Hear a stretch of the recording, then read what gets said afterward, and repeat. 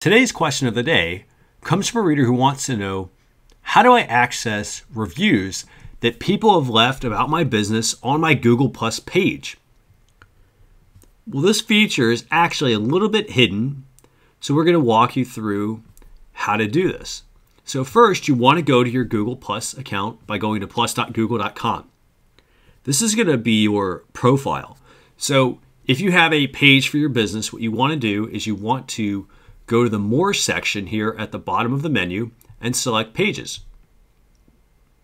At this point, you're going to be asked to switch from your profile to your page. In this case, I have multiple pages. However, I'm focused on the one that has 46 followers. So we're going to switch to this page.